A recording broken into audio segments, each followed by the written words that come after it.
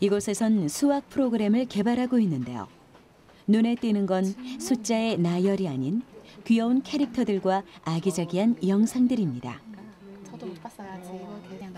수학이라는 과목에 친근함을 느끼고 문제풀이를 단계별로 나아갈 때마다 성취감을 느낄 수 있도록 각종 장치가 곳곳에 들어가 있는데요. 연구진이 개발하고 있는 건 수학과 인공지능의 접목입니다. 학습자가 문제에 접근하면 할수록 인공지능이 학습자를 분석해 맞춤형 정보를 제공하는 것이죠. 수학은 과목의 특성상 인공지능을 접목하기에 효과적인 과목입니다. 첫째, 수학은 학습자별로 수준 차이가 매우 큽니다. 그래서 수준에 맞는 맞춤 학습이 절대적으로 필요한 과목입니다.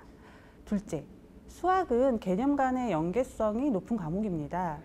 자연수의 사칙 연산을 못하는 아이는 분수와 소수, 더 나아가 정수와 유리수의 사칙 연산도 할 수 없습니다.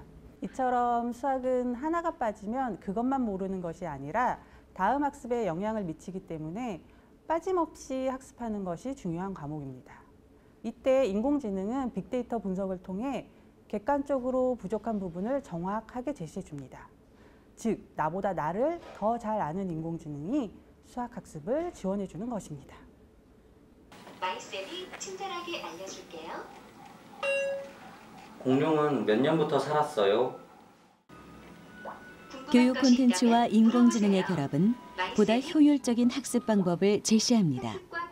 음성 인식 기능은 질문에 대한 답을 빠르게 화면으로 보여주죠. 수학 시험에서 100점 맞아서 너무 기분이 좋았어요. 그렇게 좋은 일이 있었다니 정말 부러운걸요?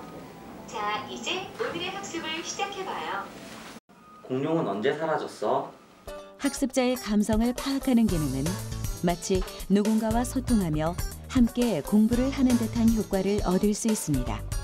이는 인공지능이 탑재돼 있기에 가능한 것으로 스스로 학습에서의 능률을 높이는 기능일 겁니다. 사용자의 시선을 분석하는 eye tracking 기술 또한 인공지능과 함께 접목되고 있는데요. 카메라를 통해 눈동자의 초점 정보를 추적하며 사용자가 화면을 주시하고 있는지에 대한 정보를 얻을 수 있습니다. 이는 학습하는 사람의 집중도를 파악하는 기능으로 어떤 문항에서 집중도가 떨어지는지 분석해 학습자에게 알리거나 다음 출제될 문제를 변동시킬 수 있죠. 인공지능의 강점은 크게 두 가지로 말씀드릴 수 있습니다. 그 첫 번째는 개인별 맞춤형 교육이 가능하다는 점입니다. 전통적인 학습 방식은 획일적인 교재를 이용하여 문제를 풀고 틀린 문제에 대한 개념을 다시 익히는 방식이었다면 인공지능을 이용한 학습 방식은 개인화된 컨텐츠를 제공하여 학습자가 최적화된 맞춤형 교육 서비스를 받을 수가 있습니다.